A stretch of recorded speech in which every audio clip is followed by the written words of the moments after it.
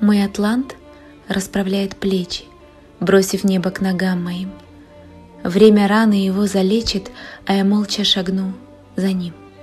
Мы направимся к океану смыть небесную с тела пыль, и в тягучей ночной нирване набираться он будет сил.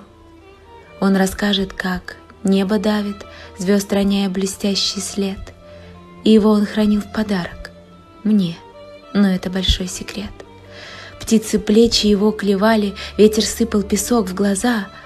Мой атлант утопал в печали, продолжая держать небеса. Тучи тяжестью свинцевали, тек со лба его липкий пот, в пошатнувшейся вертикали он раскачивал небосвод. Мой атлант опрокинул ношу, лишь завидев в толпе меня, когда поступью дикой кошки я прошла на исходе дня. «За подарок тебе спасибо», — прошептала ему, смеясь. И собой, как огромной глыбой, мой атлант накрывал меня.